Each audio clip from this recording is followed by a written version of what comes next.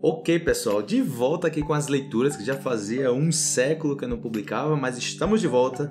Vamos lá com esse texto aqui de Alberto Brandão. Ele está fazendo aí publicações na página Papo de Homem. Essa, esse texto completo vocês podem encontrar na página Papo de Homem. Vou deixar aí na descrição do vídeo, ok? Se vocês puderem deixar um comentário também, falando sobre o artigo, tá bem bacana.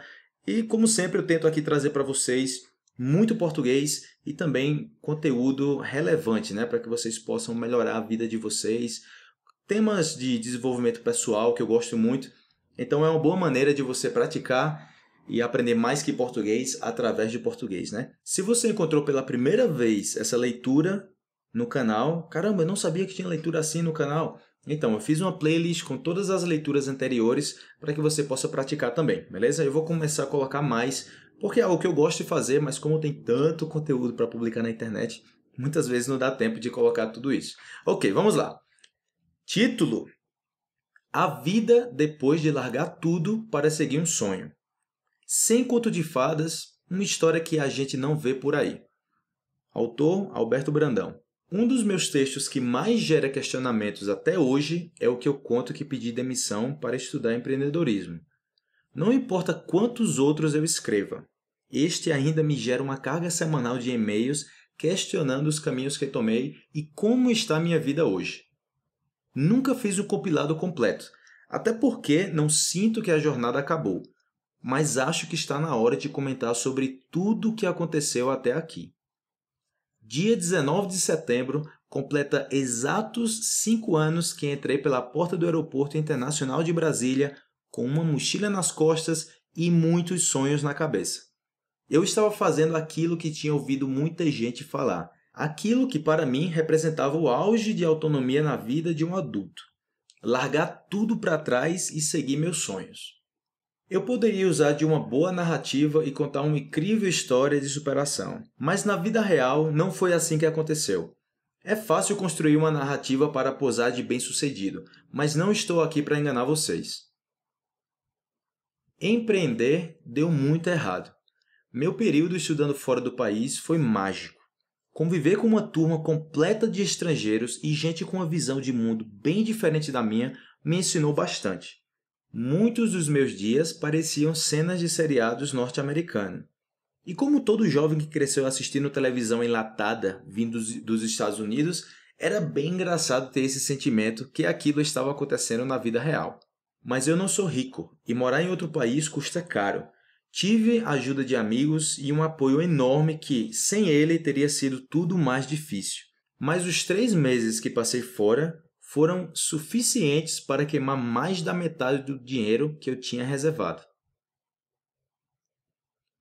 Aprendi bastante coisa interessante no curso e consegui até desenvolver um pequeno negócio que me gera pequenos lucros até hoje mas nada consistente o suficiente para seguir no longo prazo. Voltar para o Brasil foi um choque. A cultura que aprendi de empreendedorismo era drasticamente diferente da moda de startups que estava se erguendo por aqui. Ao mesmo tempo, as outras pessoas ainda me cobravam o tal sucesso.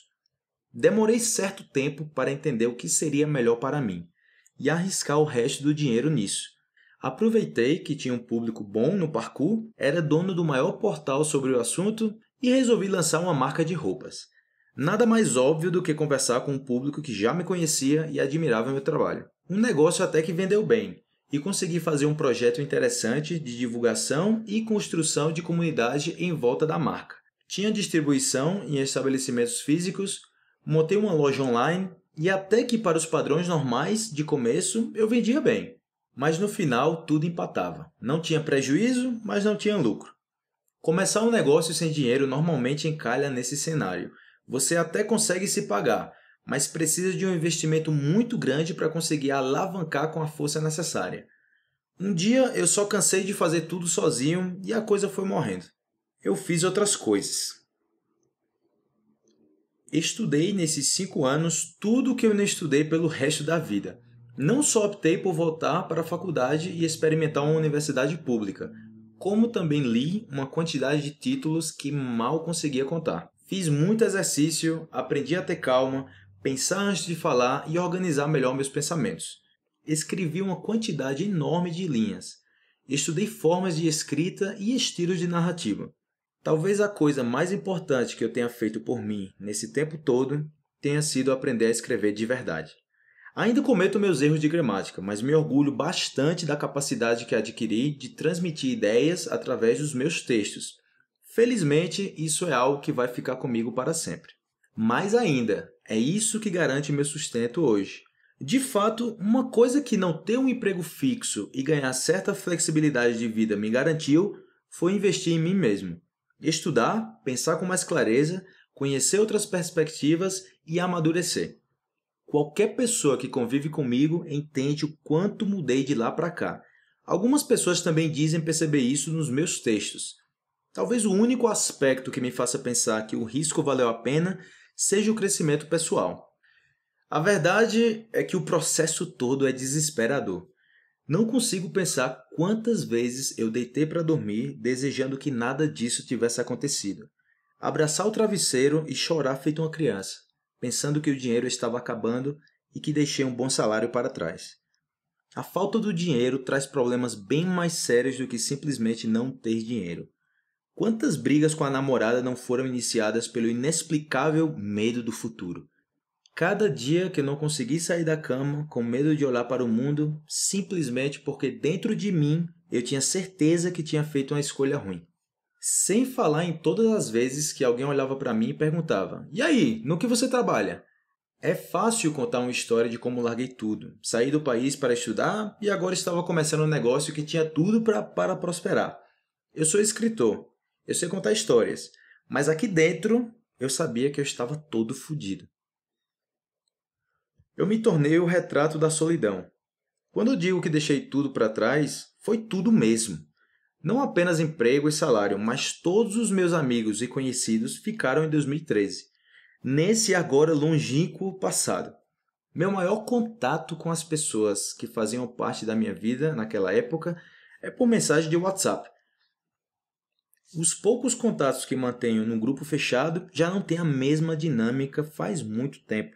Acho que os cinco amigos do grupo sabem que, se acabar esse último canal, as chances de ninguém nunca mais se falar são grandes. Outras pessoas dessa época surgem vez ou outra, perguntam como as coisas estão e seguem suas vidas. Mas a gente sente que tudo mudou quando volta para visitar a cidade e ninguém tem disposição para sair e conversar. Acho que com o tempo também fui ficando mais fechado. Fiz alguns poucos amigos nessa nova vida, mas a sensação que tenho é que os contatos são sempre superficiais demais Acho que se não fosse a companhia da namorada e do cachorro, eu já teria enlouquecido. E já tentei fazer amigos das mais variadas formas, mas parece que perdi essa capacidade. As contas não vão se pagar sozinhas. Um dia eu acordei e o meu maior medo se tornava real. Minha parceira da época tinha ficado sem emprego. Me olhou e disse: Estamos ficando sem dinheiro, você precisa voltar a trabalhar.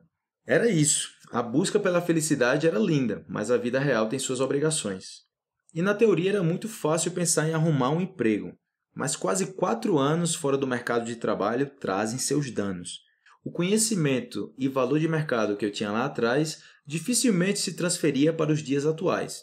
Nas entrevistas de emprego eu tinha dois problemas. O primeiro é que meu currículo era qualificado demais para as vagas mais baixas. Nenhuma empresa queria contratar alguém com mais de 10 anos de experiências para uma vaga que pagava pouco. Se eu te colocar no mercado, eles te roubam rapidamente, confessou o recrutador. Para eles, não valia a pena queimar um processo seletivo comigo. O outro problema é que para as vagas mais altas me faltavam experiências nas tecnologias e metodologias mais atuais. Em quatro anos, muita coisa muda. Eu até cheguei a estudar e aprender alguns dos requisitos, mas sempre tinha alguém que já estava no mercado e trabalhava diretamente com a tecnologia e acabava levando a vaga. Minha saída foi procurar outra profissão. Arrumei um emprego numa empresa que estava começando, sem nenhum contrato de gaveta. Trabalhei alguns meses por um valor abaixo do salário mínimo, mas naquela altura qualquer dinheiro ajudava para ficar menos negativo, entre aspas. Não aprendi nada nessa empresa e fui demitido depois que o maior cliente pulou fora do negócio. Pelo menos foi a explicação que recebi. Reformulei meu currículo, tirei minhas experiências anteriores e deixei apenas o último emprego. Voltei a procurar trabalho e acabei conseguindo um lugar melhor para trabalhar.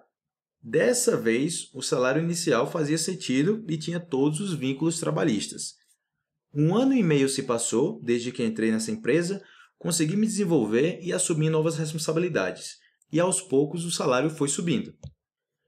Hoje sou responsável por grande parte do marketing de uma empresa de tecnologia chamada Moskit, juntando tudo o que desenvolvi com a escrita, minha experiência aqui com o Papo de Homem e muito do que trago de bagagem como analista de sistemas. Também sou inteiramente responsável pelo conteúdo de um portal com foco em vendas, o Sales Expert, que funciona como pilar de conteúdo para o marketing na empresa. É lá que eu e uma pequena equipe desenvolvemos pesquisas e produzimos conteúdos quase que diariamente. Hoje posso dizer que tenho uma nova carreira e estou desenvolvendo um trabalho que gosto bastante de fazer, Ainda falta muito para a grana deixar de ser uma preocupação, como era lá atrás. Mas gostar do trabalho que faço, mais do que gostava no passado, me deixa um pouco mais otimista. Mas e aí, valeu a pena?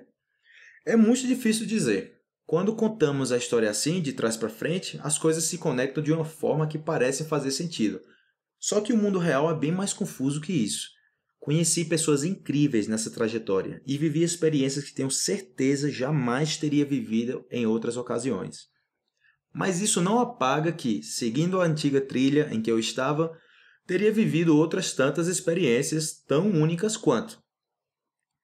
A gente vive numa sociedade movida pelo sucesso profissional, e por mais que eu já tenha construído uma mentalidade que aceita muito bem um modelo alternativo de vida, não vivemos em bolhas. Vez ou outra, acabo me olhando no espelho e pensando: como foi que eu vim parar aqui? O fato é que não importa muito se valeu a pena ou não, essa é a vida que tenho hoje. Estou de fato num momento bem diferente. Nos últimos nove meses, as coisas mudaram numa velocidade muito maior do que eu esperava. Neste momento, sou uma pessoa com bom estilo de vida. Trabalho de casa, faço exercícios físicos todos os dias e tenho muitas das coisas materiais que o capitalismo me fez acreditar que eu preciso. Moro com uma parceira que admira meu trabalho e me incentiva para seguir em frente. Tenho um cachorro fofo que parece um bicho de pelúcia e uma vida confortável. Por um lado, eu acho que tive bastante sorte e no fim as coisas acabaram dando certo. Por outro, eu penso que bastava um deslize para tudo ter dado muito, muito errado. Essa não é uma história de superação, é apenas o relato de quem deu muita sorte. Então é isso aí, espero que você tenha gostado da leitura. Lembre-se que essa leitura completa está disponível aí na descrição do vídeo. Eu altamente recomendo as publicações de Papo de Homem. É uma página que eu gosto muito e eu sempre uso com os estudantes para praticar português, ok? Então, se você tem outra recomendação de leitura, manda uma mensagem para mim tanto aqui no, no YouTube, como no Facebook, no WhatsApp, no Instagram. Ei Felipe, eu encontrei esse texto, está muito bacana, eu gostaria que você fizesse a leitura desse texto. E eu com muito prazer aí, né? Na medida do possível, é claro, eu estarei fazendo essa leitura. Então, se você gostou, recomendo para um amigo, é, compartilhe aí com o pessoal que está interessado em aprender português. E é isso aí, beleza? Um grande abraço e até mais!